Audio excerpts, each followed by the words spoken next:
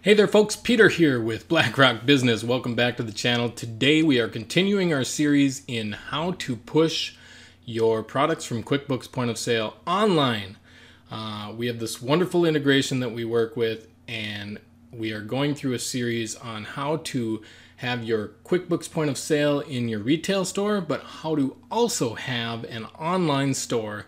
Uh, this integration works with 40 different shopping carts some of the most popular ones WooCommerce, Shopify, BigCommerce, Magento, Volusion, uh, Amazon, and eBay. There's so many I can't even go through all of them, but today, specifically, again, we are talking about Shopify.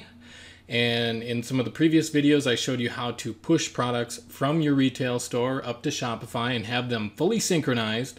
That's right, this integration will synchronize your quantities it will uh, work as an order dashboard where you can fulfill the orders that are placed in the online store, uh, keeping your point of sale and your online store both up to date with each other, perfectly synchronized, and then flowing the money through your point of sale or through your QuickBooks if it's hooked up to that. And so you have perfect uh, accounting going on, and you really don't have you don't really have to do any manual entry. I could talk and talk about it, but let's get to this. Uh, I pushed a regular product last time. Today, very excitingly, we have a variant product. Uh, what in Shopify it's called a variation. And here's my little Shopify trial store. I only have a couple products in here because I haven't done a whole lot with it. We're just playing around. Uh, here you can see I have snorkel fins and this is a variation product. If you have multiple colors and multiple sizes or different designations in point of sale and you want that to show up as a single product, we're going to do that right now. We are going to push this baseball hat, which has all sorts of sizes and colors, up to Shopify. And we don't want these to show up as, you know, 12, 15 different products in the Shopify store. We want this to be a single product with the little drop down so your customer can be happy and just choose the size and color they want and they're set to go. I'm going to point out real quick that I have quantities here, I have descriptions filled in, uh, we have all the sizes and colors, and then we have some different pricing. Uh, the medium and large are $11.99. The extra large, because it's so big, is $12.99 and then the small is $10.99. I just want to point that out so that you can see when your customer chooses the size they want on your store, it actually changes the price. I'm going to pop over to details here and hit style so that you can see that in QuickBooks point of sale, this is actually set up as a product with a style and uh, so if you're not used to that, you might need to look into a little more research with what's a style and how you can set that up in QuickBooks Point of Sale. It's really the way to go with clothing or anything where there's numerous variations. But we are going to pull this out of Point of Sale and we're going to synchronize it with Shopify. It's going to be awesome. Okay, I have to stop right now. If this is interesting to you, if you are planning on getting online with your store, selling online, taking customer orders, uh, go ahead and click the link down in the description below to get signed up for a one-to-one on-screen demonstration to answer all of your questions about the integration I'm going to use here and we'll just walk through and have our our uh, rep show you exactly what you need to know and answer all of your questions about this integration. It's going to be great. I'm going to pull it up right now and I'm going to pull in products. Again I need to you know get it all synchronized here. I've got the baseball hats here but I want the latest greatest up-to-date information in my dashboard here so that I can push it up to the Shopify store. Alright it got all the products. We are all set here. Now what I'm gonna do is choose all the baseball hats because they are all variants of the same product. So I'll just check mark each and every size and color right here there, I got them all.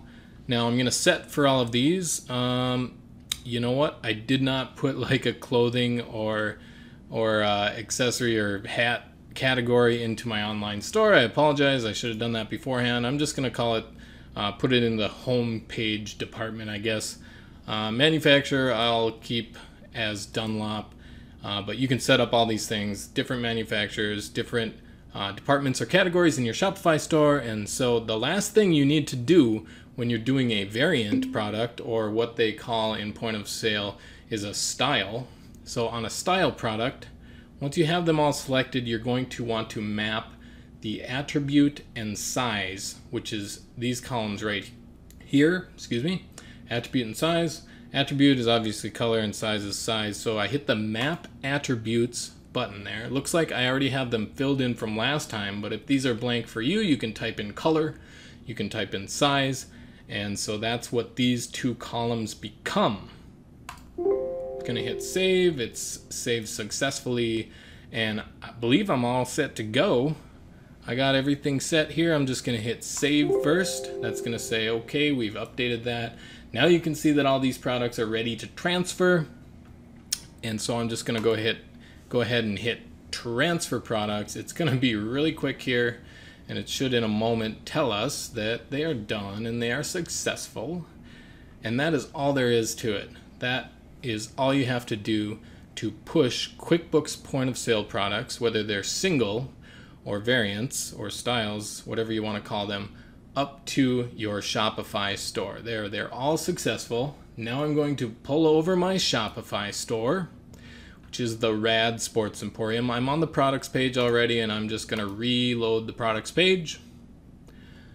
And there, everything's done for me. I have 136 in stock for 12 different variations of the baseball hat. Now, all I need to do to complete pretty much the entire process is I would probably just choose to uh, add pictures to these. For example, tan. I would choose all the tan ones because they're all going to be the same picture. I'm going to say more actions, add image. I need to add an image. That image is going to be right here in a moment once it loads up. There we go, we got tan. So we add the image for tan. Tan, done. Then I'll choose all the grays. Okay, I am done adding those pictures to all the different colors and I can hit save at the top on my baseball hat. As soon as the saving is done, I'm going to hit preview and we're going to see what this looks like in my Shopify store. So here we have it. Uh, I could have had a better, longer description here, but otherwise we got tan XL, large, medium, small. You might want to reorder those so they're in better order. If I hit gray, and I can choose a size. You can see that the price is changing according to the size, small, medium, or large, 10.99. And there you have it. We have now synchronized my QuickBooks point of sale style product over to Shopify to also contain what we call in Shopify variations. Once again, if you are interested in this integration software, go ahead and click the link in the description down below and you can uh, sign up for a one-to-one session to explain the software to you or answer all of your questions. If you're on YouTube mobile, you might have to hit that little down arrow on your right to see the description. So click on the link there and sign up for a one-to-one demonstration free of charge, no strings attached. Just get the info that you need and the questions answered. My name is Peter with BlackRock Business and this was Pushing Styles or variation products up to Shopify from QuickBooks point of sale. You have yourself a stupendous day. Thanks. Bye bye.